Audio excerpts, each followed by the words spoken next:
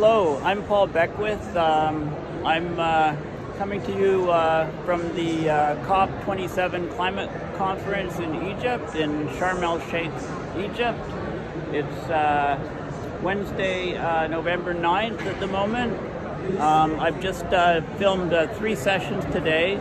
One was an interview with Dr. Ye Tao about the MEER, M-E-E-R, uh, system. And then I was in a, on a panel for the Climate Emergency Forum on climate uh, adaptation and mitigation with uh, Jem Bendell and John Liu and uh, Regina Valdez and myself. And then after that, I sat down for a interview for about half an hour with uh, Jem Bendell about deep, deep adaptation and other topics. But right now, what I'm doing is I'm filming a video of the uh, Cryosphere Pavilion so I'll spend, uh, I'll, I'll, stop the camera at uh, different sites, each of the different panel images, because there's lots of climate data on them.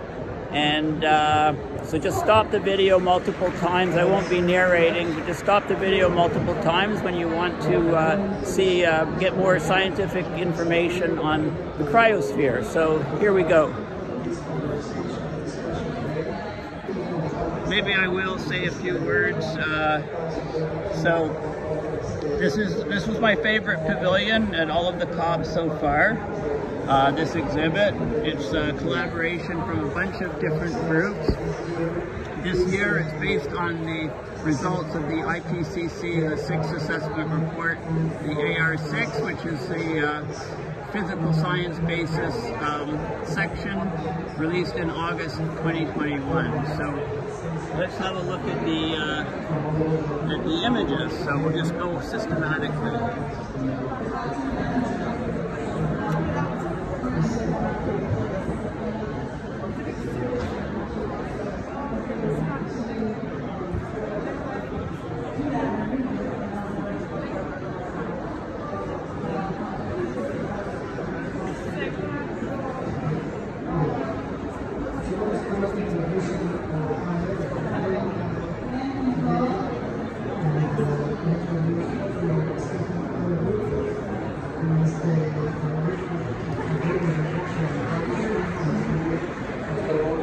Organization. Juan Chan is the head of technical operation of Thermal Group. Adriana Vidal, senior policy officer for International Union for Conservation Nature. And Anil Mishra, who is the chief of hydrological systems, climate change from UNESCO. So also Ono Wu, who is the director of Agaga for Habitats was join this event on regular basis. And we cannot see you. Can we see all of them? Yes. Okay. Okay.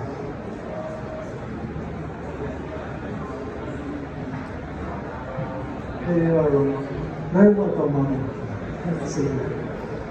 So, I want to start the, this uh, conversation about that uh, innovation in mountain areas is not something that is not very well associated.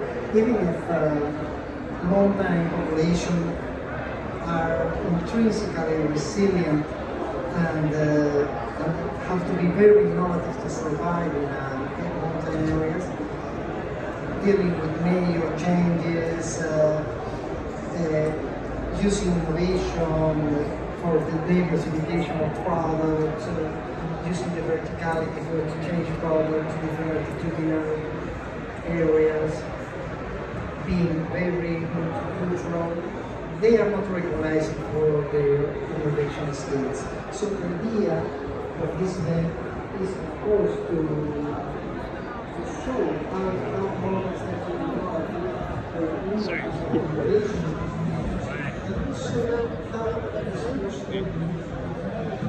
The printing messed up with the RTCS pen. Oh, is it? Was it? show the fact that it's uh,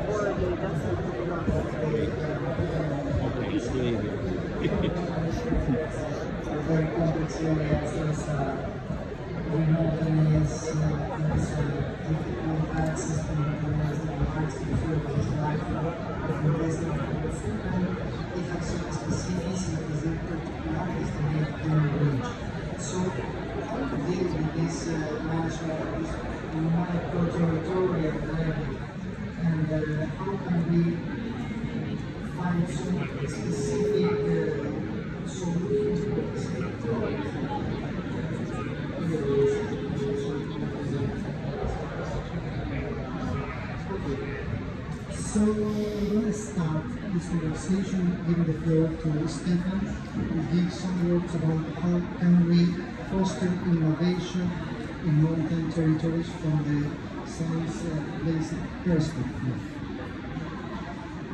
Okay, is yours.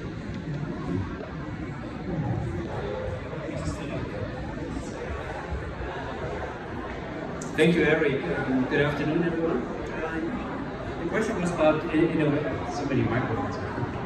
the question is about innovations. Um, if, if I may, can I say a few words what I see as, as a main challenge where actually a lot of innovations are needed, and I'm the first to admit that this is a biased uh, challenge that I present, but but um, I'm working for WMO, as it was said, and one of the biggest challenges we face is, is, is data. You know, just, just hydrological meteorological data to be able to close the water balance in mountainous areas is a big, big challenge. Um, mountain is particularly difficult because the hand there are the water towers of the world and very uh, you all when we were that especially on the other hand, um, the, the observation networks are very small. We have some stations that are not in the right location, they for the lens, it's very costly to entertain the hydrological measurements, uh, basic parameters in high altitude mountains. They get there, people to retain them, uh, seasons, and it's really, really costly. Therefore, the stations we have, you want to do spatial analysis, to produce some basic waveform, for instance, bias station that are actually more best. Even even if you have of the, the biggest challenges. So, if you, so if you don't really have good data, how can you make reliable estimates of space-time variability of parameters? Therefore, innovations are needed, and, and uh, very difficult to make. I think we spoke about technical innovations, and this could be new uh, new instruments, new, new ways to observe systems. So, I'm still using my monitoring problem. On the other hand, you also spoke about social innovation, like innovations in finance, innovations in governance, innovations to, to, to, to make processes that are organized to, to improve the, the observations, to improve the monitoring. And I, I really agree with you, and both are needed. And if, I may, when I, when I read the, the uh, protocol material and thought about it, what, what we often forget is the innovation that's happening elsewhere. But you talked about that quite a number of stakeholders are needed to, um, to promote innovation. But it's often, maybe there's a technical innovation or a, social innovation, but there's a lack of innovation to actually operationalize it. So it's, it's nice to have a new sensor. It's nice to have a system that really operationalize that into our services, operationalize that into our national hydrological and meteorological services. It's still the. Thank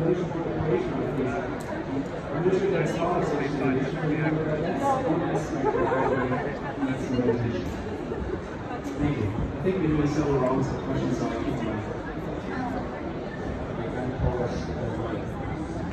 Thank you very much. There's a very good point, social innovations, no?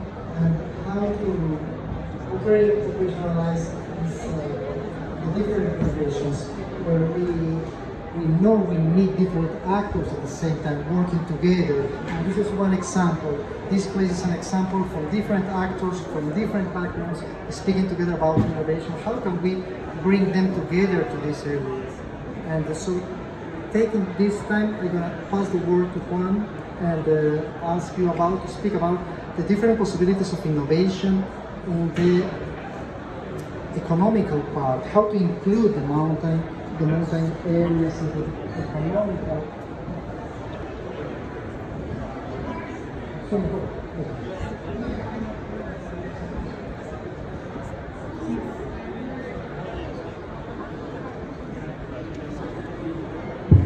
Okay, hello. Okay, so how to include? We know that uh, even in a climate change context, they give us Oh, it's so offer many opportunities many you know there are many instruments for this uh, helping this ecosystems not enough this times of uh, this can be also